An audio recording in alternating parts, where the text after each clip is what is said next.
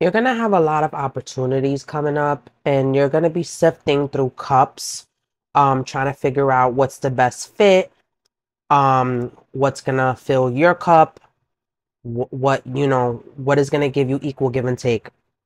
So the first card that we got for what you do for work, your occupation, or whatever is the Six of Swords. Okay, this could be taken a few ways. Okay, um, Swords has to do with the mental. Okay, and Six of Swords has to do with moving on to calmer waters.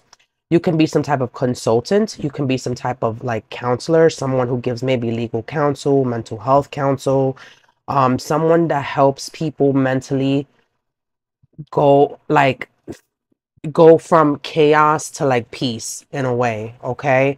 This can also be like the regular tarot is like this card is a de depiction of someone on a boat moving on to calmer waters. You could be like some type of like cruise line worker, maybe work somewhere around water. Um, you know, some type of maybe fisherman. Take that how that resonates, okay?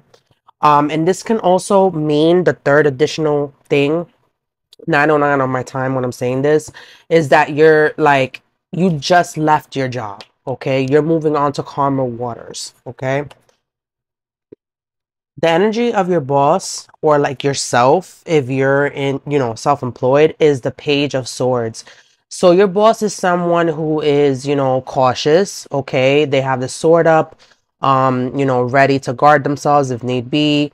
They're also someone who um gives you only like a little bit of the truth. Okay, maybe someone that like omits things or like, you know, um, I don't want to say sugarcoat, but like someone who only offers like a like a, a little bit of a picture, okay?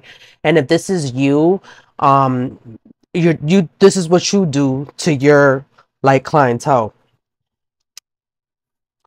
Um, the energy of your coworkers or your clients if you're self-employed or own a business is the Six of Wands, okay?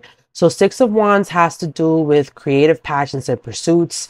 Um, the people that you service might, um, you know, be in the spotlight. Um, two, three, four on my timer.